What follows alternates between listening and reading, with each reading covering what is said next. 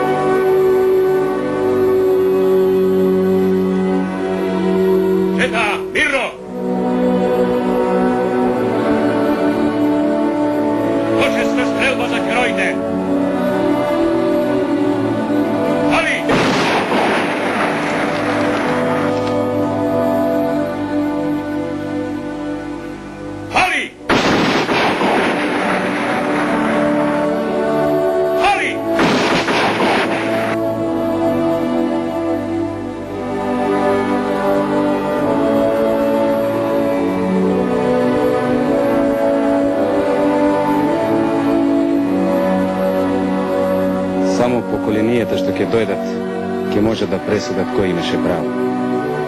Ито или ние.